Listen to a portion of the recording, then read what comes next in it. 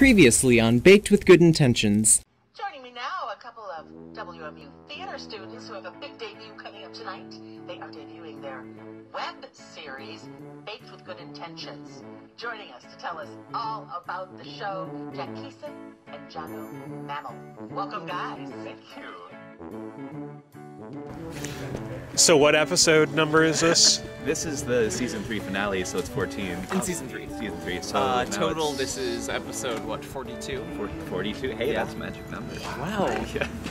How many more do you plan on doing? Uh, we have another season, so season Another four, 14. it'd be So you'll make it to like 50, high 50s? Yeah. a safety shot. Alright, set, and action. Well, I see you got my letter. What letter? It doesn't matter. My toes are cold. But there's unfinished business. nope.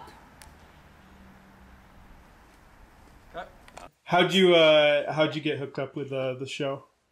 Well, I saw Jono on a bench eating a sandwich, and I went, huh, "Do you have a show?" And he's like, "Yeah." And then I showed up, and I never left. Um, I can confirm that this is accurate. What was the sandwich?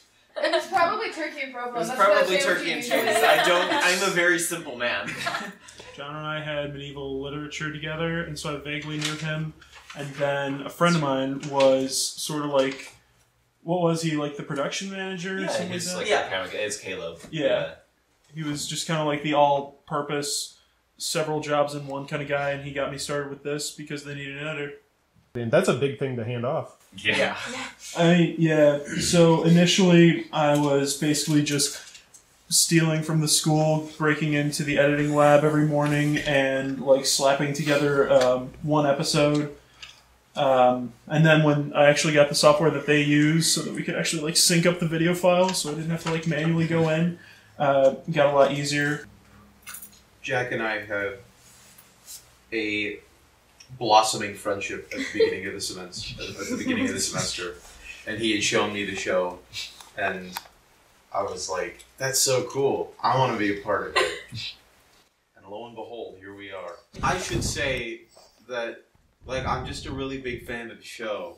I really like it. I'm, I'm really hoping to get some Dutch angles in It's, it's gonna be fine. You're gonna be okay.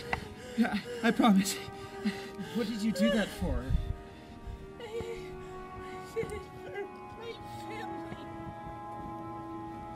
I'm your red boy. And you're my human dad.